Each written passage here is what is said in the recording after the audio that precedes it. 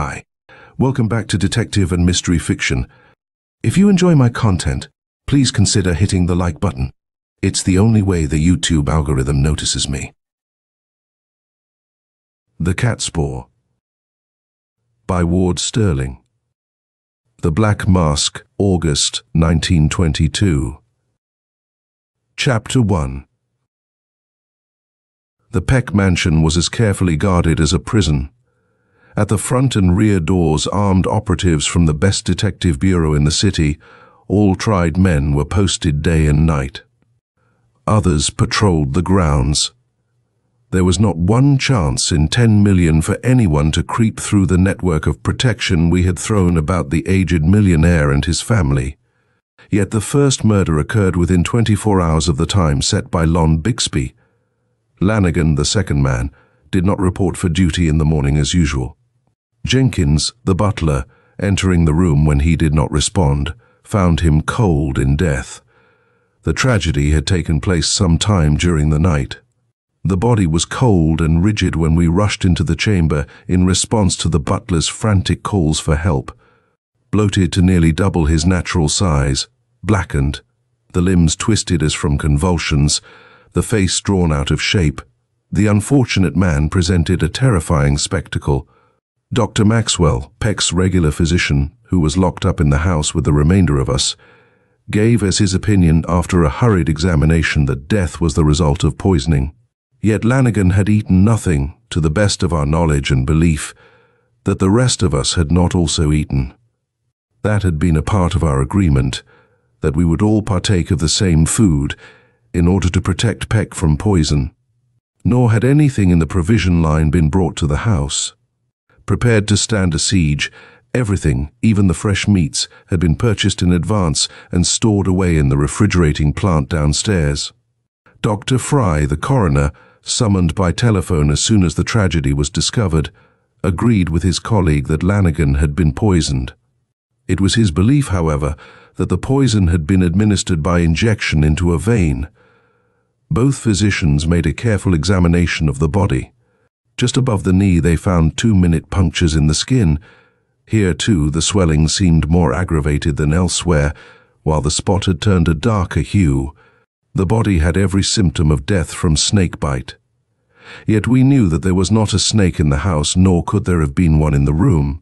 Lanigan had, according to my instructions, slept with his windows and door locked. They were in this condition when the body was found for it had been necessary for the butler to let himself into the room with his pass key. The other servants had locked themselves in in the same way.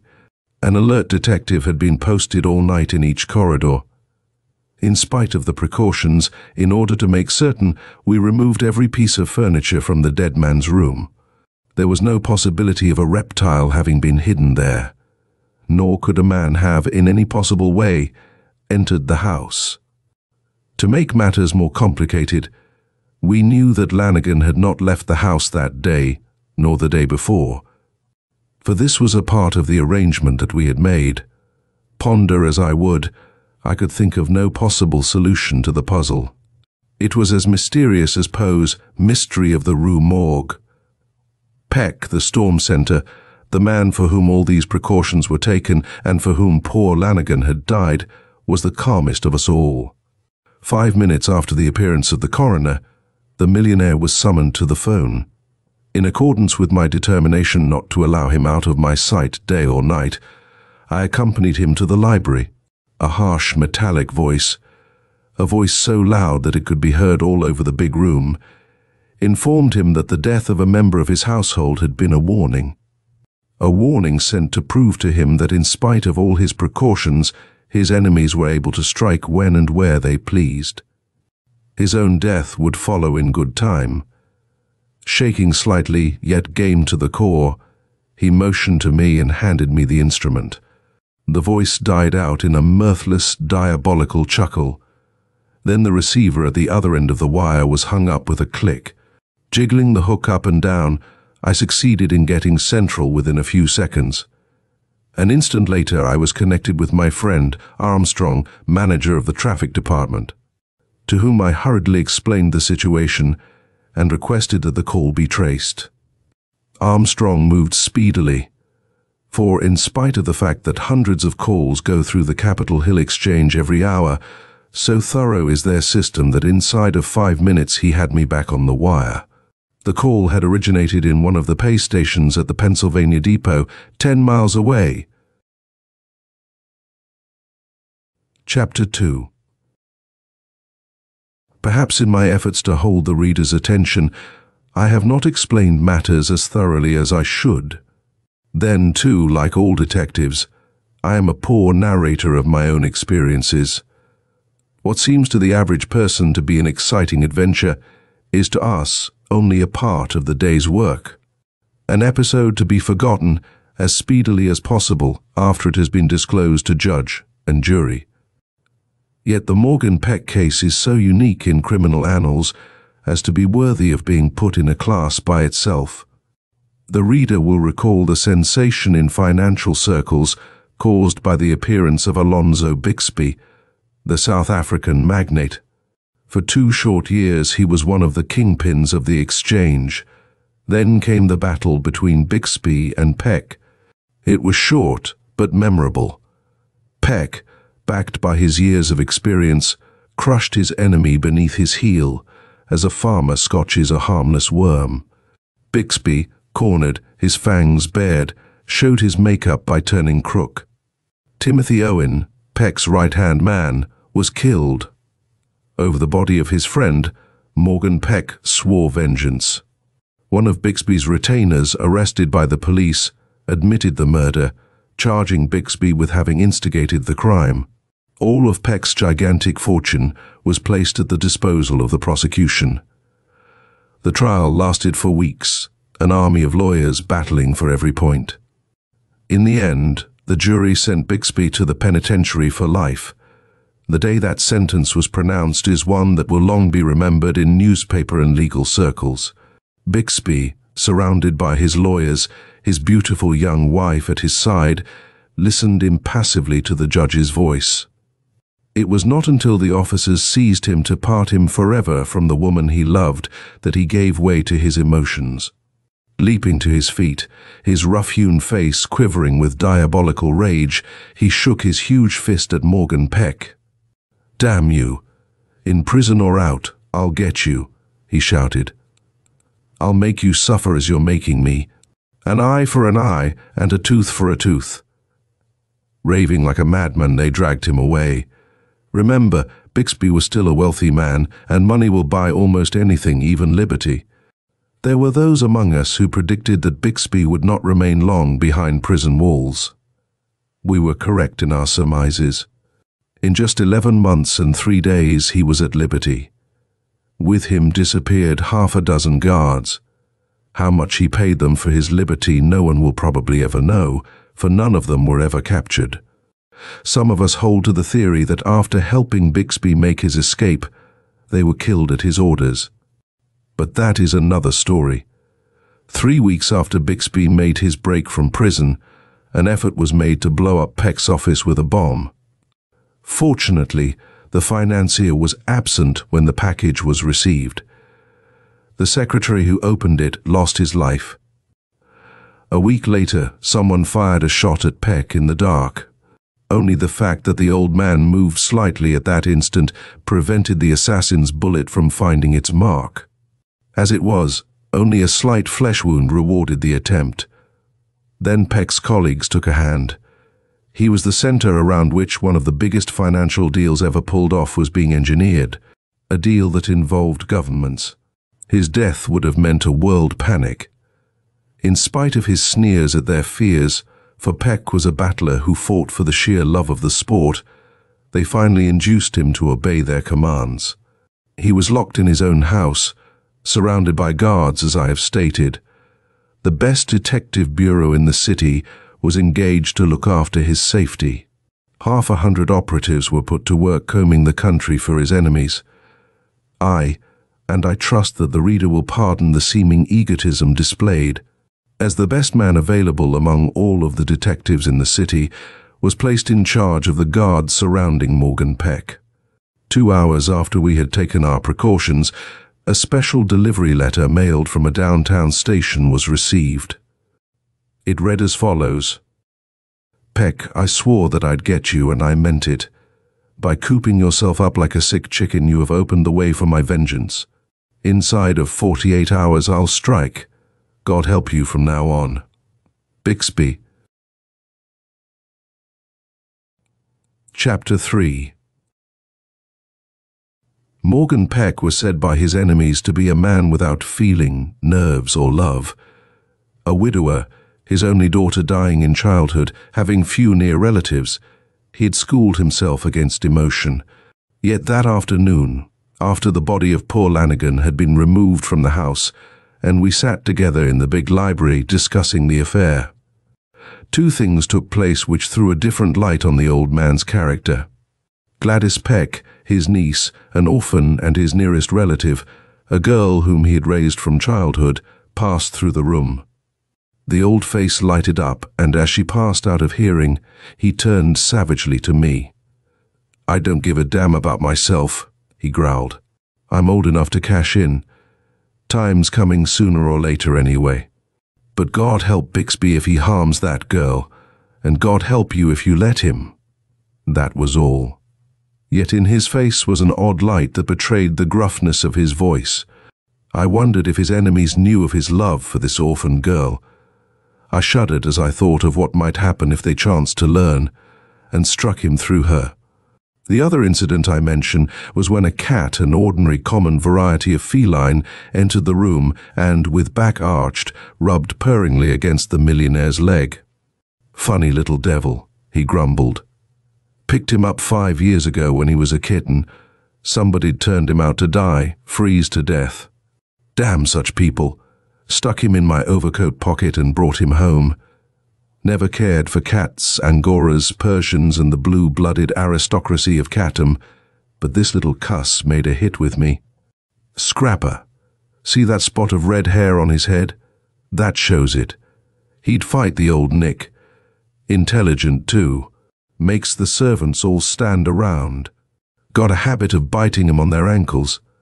They all like him, though. Funny, ain't it? Got a lot of human traits in him.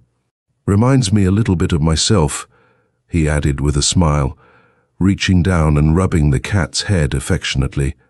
And this was the man whose enemies claimed him to be without a heart. That same afternoon the coffin came. An undertaker's wagon stopped at the front door, and two solemn-faced men brought the casket up the steps. In accordance with his orders, the detective on duty refused to admit them, but called me. Cross-questioned, they knew nothing. The coffin had been ordered from the Morgenstein Casket Company, and they were here to deliver it. The address was plainly marked. Detaining them after ordering the unsightly reminder of the death that was constantly in our midst, replaced in the wagon, I hurried Holdridge, one of the brightest operatives under my direction. Over to the offices of the Casket Company. He returned inside of 30 minutes. The casket had been ordered by mail.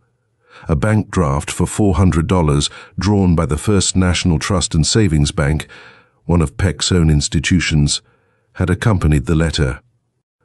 The letter merely stated that a death would shortly occur at the Peck home and asked that the coffin be delivered immediately. A telephone call to the bank proved fruitless. The draft clerk remembered drawing the draft, which was paid for in cash, but owing to the large number of similar papers which passed through his hands daily, had no recollection as to who his customer had been. In fact, only the number on the draft recalled the incident to mind at all. I released the two men from the factory. In my own mind, I was convinced that the affair had been pulled off by Bixby merely in an effort to break down Peck's morale. But they failed to reckon with the old man's fighting spirit. Chapter 4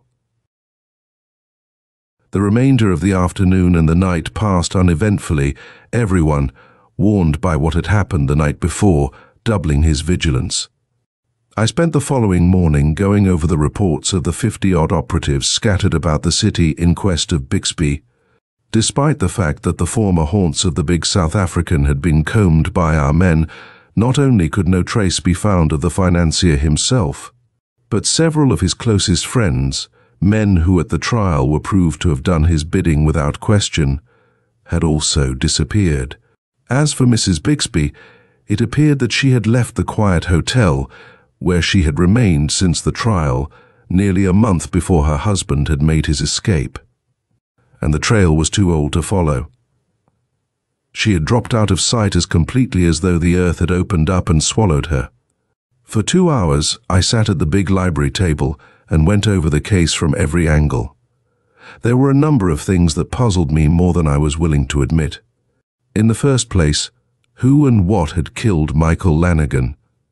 I had proved to my own satisfaction and to that of Peck that the second man had not been absent from the house an instant from the time that he, like the rest of us, went into seclusion. Eight trained detectives, each an ex-policeman, men with years of service behind them, were ready to swear that no one had entered the mansion. These men had taken turns in watching the place and grounds in shifts of two hours on and two hours off during the entire time since we had been in a state of siege. On the other hand, I realized that Bixby had money and that money will buy almost anything. Yet I was not ready to condemn these men on mere conjecture. Then, too, there was the matter of the special delivery letter. Who was in such close touch with the money master that they were able to find out to the minute when he had been driven into seclusion. Outside of our own party, only his closest friends knew of our plans. And had it been a mere coincidence that the telephone call from the pay station at the Pennsylvania depot had come in just after the arrival of the coroner? Was there someone in the house who was signaling the happenings inside to our enemies on the outside? Was one of our own number the murderer? Would he, when the time came, strike down Peck as he had struck down Lanigan? I reached for the list of those who made up our party and checked it over in the hope that through it I might arrive at the truth. In addition to Peck, his niece and myself, there was Dr. Maxwell, an old friend, a man immensely wealthy in his own name and who had been the millionaire's private physician for 30 years. All of the servants had been in the old man's employ for periods ranging from over a quarter of a century of service on the part of Mrs. Langtry, the housekeeper, to ten years on the part of Lanigan, the murdered second man. Peck had hired them all and vouched for them. The detectives, as I have stated, were all men with years of service behind them. No, on the face of it, it seemed like an impossibility. Yet there was the murder of Lanigan to prove the falsity of my reasoning. It was shortly after noon when Peck and I, smoking in the library, were brought to our feet by a shriek for help from the servants' quarters at the rear of the house. Drawing my revolver and shoving the millionaire, who would have taken the lead, behind me, I rushed in the direction from which the sound came. Fred Dietz, who acted as chauffeur and valet for Peck, was lying on his back in the middle of the kitchen in convulsions. Beside him stood Mrs. Mulcahy, the cook, from whose voluminous lungs the shouts for help were emanating. Coincident with my arrival came the others, with the exception of the two men stationed at the doors. They, like the veterans they were, remained at their posts. In response to my orders, Jenkins summoned Dr. Maxwell, who was asleep in his room. Inside of a minute, the physician, his emergency kit in his hand, made his appearance. He shook his head as he bent over the stricken man and felt his pulse. For a second there was silence. Then the physician straightened up with a shrug of his shoulders. He's dying, he said quietly, while Mrs. Mulcahy let out a wail of despair. I turned to the physician. Do you think? Same as Lanigan, he answered. See for yourself how the poor fellow's starting to bloat. After nearly half a century of medical experience, it's the first case I ever failed to diagnose, or at least make a fairly good guess at. He stopped suddenly, a shudder over the body of the man on the floor, then his jaw dropped. Fred Dietz was dead. Chapter 5 I turned to Mrs. Mulcahy. Tell me just what happened, I commanded. Sure, and that's the worst of it, she sobbed. There was nothing happened at all. He was sitting here as happy as you please talking to Teta when... Teta? Who's Teta? I demanded. The cat, Peck answered grimly. Dietz was one of Teta's warmest friends. The little animal is decidedly emphatic in his likes and dislikes, but poor Fred was one of his favorites. I nodded. Then to Mrs. Mulcahy, Go ahead with your story. Well, saw. As I was saying, he was sitting there talking to Teta when all of a sudden I heard him give a little gasp. Me back was turned to him at the time. I looked around quickly, just in time to see him slide from the chair with the froth coming out of his mouth. I yelled for help and you seen the rest. Mrs. Mulcahy had been with Peck for 18 years, my records showed. That she was not the murderer was a certainty, yet Dietz had been killed under her very eyes. I questioned her for nearly half an hour, in the hope that she might recall having seen some other member of the household in or near the kitchen at or about the time Dietz was stricken down. But she was emphatic, she and she alone had been with the dead chauffeur. There was nothing to do but send for the coroner again. Meanwhile, the body had been removed to an upstairs room where Dr. Maxwell made an examination. He called as I passed through the hall. As I entered the room, he pointed to the naked body of the murdered chauffeur. Close to the knee of the right leg, the skin was blacker than elsewhere. And in the center of the dark spot was a tiny puncture similar to the ones we had found on Lanigan's leg. A detective occasionally gets hunches. If he is a good one, he plays them to the limit. I, as I have stated before, believe, and I trust that the reader will not accuse me of egotism, that I am among the top notches despite the poor opinion he has received of me through my rambling account of the murders in the Peck mansion. Just now I got a hunch. I decided to play it. Hardly taking time to thank my friend, the physician, for his courtesy, I hurried downstairs to the library where Peck was busy reading. The big cat curled up in a ball on the chair opposite. The millionaire looked up in astonishment at my catapultic entrance. Mr. Peck! I burst forth. I want to borrow Teta. The millionaire elevated his brows. You what? he demanded. I want to borrow Teta, the cat, here. I've an idea that he'd make a first-class detective. I'll promise you that I'll not injure him in the least. But I am firm in the conviction that he can lead us to the murderers of Lanigan and Dietz, the men who are trying to get at you, and possibly at Miss Gladys through you.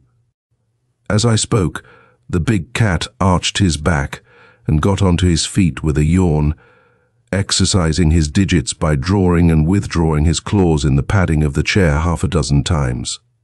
The action decided the old man. He looked up at me with a suspicion of a twinkle in his eyes. The little cuss is a scrapper, as I told you, he chuckled. Look at the way he girds up his loins for action at the mere mention of taking a part in the scrap. Take him and welcome, but don't let him get hurt. With a curt nod of thanks, I picked up the cat and carried him upstairs to my own room. For the next half hour, the little animal and I were busily engaged among the retorts and tubes which Dr. Maxwell had brought from his laboratory for experimental purposes during his enforced detention and which I borrowed for my own uses. When I had completed my task, I turned to the furred beauty with a smile of satisfaction. Teta, I whispered. This whole affair is a secret between the two of us. I thought that I was on the right track, and now I know it. You're the boy who'll bring home the bacon. It's up to you to get the men who killed your pals, Lanigan and Dietz. Will you do it? There are some people who claim that cats have no intelligence. I stand ready to swear that Teta, Morgan Peck's cat, understood every word I said, for he rubbed against my leg with a loud purr of satisfaction and immediately took up his station close to the door as if clamoring for action. We went down the stairs together. I stopped at both front and rear doors and gave my instructions to the operatives on watch. I want to be informed the minute the cat meows to get out, I instructed them. Pass this word on to the men who will relieve you. Remember, no excuses go. Before he is let out, I am to be called. Fifteen minutes later, Olmsted, on duty at the rear door, called to me. The cat's howling at my station, he said. I followed the animal to the door and personally let him outside. Chapter 6 Across the lawn, I followed the cat with my eyes until he disappeared around the corner of a nearby garage. O'Leary and Kane, the two men on duty on the grounds, had had their orders. As Teta disappeared down the alley, I saw O'Leary dodge around a nearby bush and follow him. A second later he reappeared and approached the house. Your friend, the cat, went into a barn that's been transformed into a garage at 1424 North 10th, just five houses below here, he reported with a grin. And if you'll pardon the joke, Chief, I've shadowed darned near everything that walks, but it's the first time I ever trailed a cat. Stepping to the telephone, I called up my friend Hitchens, Chief of Detectives, who was cooperating with us in every way possible. Satisfied with the results of my conversation, I sat down to spend the remainder of the afternoon among Peck's books. Suddenly the phone at my elbow jangled. Turning, I picked up the receiver and answered the call. The same metallic voice that had talked to Peck the day of Lanigan's murder answered my gruff, Hello, Peck, he asked. I'll call him, I responded.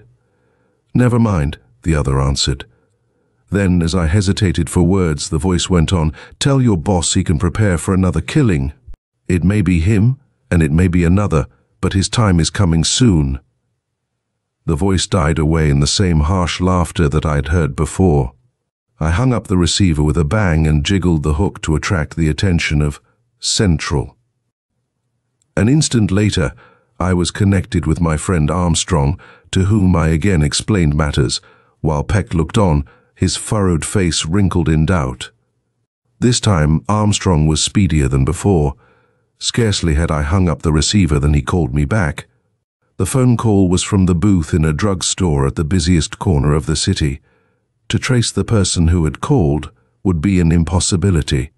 Packard, on duty at the rear door, called me at fifteen minutes past five o'clock. The cat just came in, he yelled. The afternoon's hunting had evidently been of the best, for the cat was purring contentedly as he passed down the hallway on his way to the library. But I was taking no chances of a scratch from his sharp claws, for I protected my hands with heavy gloves as I tenderly picked him up and carried him upstairs to my room. Ten minutes later, I was at the telephone with my friend Hitchens at the other end. Half an hour afterward, there came a sudden blast of a police whistle. From a dozen different directions from where they had been stationed, hurried policemen and detectives, all centering on the big brick house at 1424 North 10th. There was no response to our knocks. A burly policeman hurled his bulk against the door. It refused to give way. He swung an axe over his head. Came a sound of splitting wood. A second later we were inside the hallway. A revolver spit at us from down the corridor. Another flashed from the head of the stairs. We answered them shot for shot, bullet for bullet. For five minutes the battle waged. Then our superior numbers told. We dashed through the smoke-filled rooms, gathering in our prisoners. Four men were caught in the net, and one woman. She was Mrs. Lon Bixby. Her husband, suffering from a severe wound in the shoulder, was one of the four. The remainder were merely his tools. Chapter 7 Battersby, one of Bixby's aides, confronted with the murders of Lanigan and Dietz, turned state's evidence and confessed. Slick, one of the others, backed him up in his statements. Bixby, as I had figured from the first, was the instigator of the whole diabolical affair. How he made his escape from prison, however, is something that he refused to divulge, even when he and his confederates were taken to the gallows to answer for their crimes. How did they kill Lanigan and Dietz? By means of Teta. Unwittingly, the little animal was the indirect cause of both murders. Battersby, according to his own confession, had been posted by Bixby who had, while still in prison, had him engage the place at 1424 North 10th Street under an alias in order that he might watch the Peck home. In his guise as a servant, he had got acquainted with Dietz while the latter was working with one of the cars. He had noticed Teta come out of the barn at 1424, which, having been empty for a number of years, was filled with rats. As the cat passed Dietz, the latter had bent over and scratched it, making a chance remark about Peck's affection for the animal. He had also remarked with a chuckle at a fondness the pet had for drawing and withdrawing his claws in whatever he chanced to be lying on, a habit which all cats indulge in at times. Battersby, alert to give every detail to his employer, had remarked this fact to Bixby in his report. The latter saw an opportunity to turn the incident to his own advantage, learning that Peck's cat frequented the barn. He had catered to the animal in every possible way until the animal passed a great deal of its time in and about the Bixby place. Failing in his attempts to kill Peck the instant that he had chased the millionaire to cover, Bixby seized upon the cat to carry out his own diabolical ends.